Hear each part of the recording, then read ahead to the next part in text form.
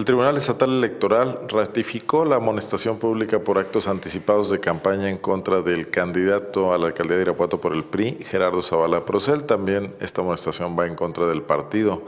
Pedro Hernández, presidente del Consejo Municipal Electoral, indicó que tras la queja presentada por Acción Nacional, llegó la resolución donde quedó firme la amonestación pública. Esta ya no fue impugnada por el PRI. El plazo concluyó antes de que lo pudieran hacer y finalmente se ratificó. Con ello se cae la versión de Zavala Procel, diputado local todavía y candidato del PRI, inminente candidato del PRI a la alcaldía de Irapuato, quien hace unos días dijo que la queja del PAN tendría el mismo final que la de Movimiento Ciudadano y que no procedería.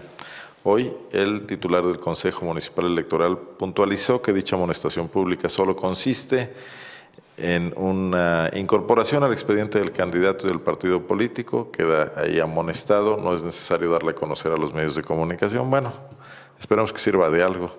Esto dijo el funcionario electoral. El Tribunal Estatal Electoral, en donde está señalando que ha quedado firme eh, la amonestación pública que se le hizo al Partido Revolucionario Institucional. Esto es de que al momento que salió la resolución, por parte del Tribunal Electoral Estatal no fue impugnado por parte del, del, PRI. Entonces, como se le pasó el término, quedó la amonestación pública firme. ¿Y la amonestación pública qué, qué es? ¿Qué consiste? ¿En qué consiste? efecto tiene?